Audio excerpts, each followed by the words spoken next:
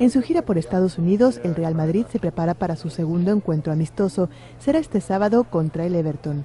Un partido duro, en palabras del jugador brasileño Marcelo, que el equipo merengue quiere vencer porque aseguró siempre quieren ganar y esta vez no será diferente.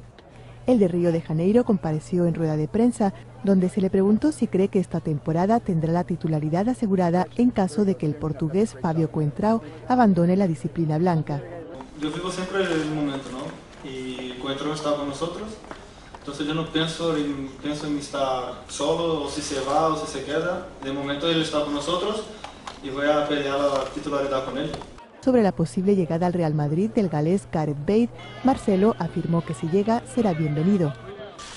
Pues es un, un gran jugador que he jugado contra, pero no conozco bien y ese es un tema del, del club y si, si viene al, al Madrid será bienvenido. El brasileño afirmó que aún es pronto para evaluar el trabajo realizado por el técnico Carlo Ancelotti al frente del equipo, pero calificó al entrenador como un ganador con gran experiencia. Después de vencer el pasado jueves al Galaxy de Los Ángeles, hoy toca el turno de enfrentar a los ingleses del Everton.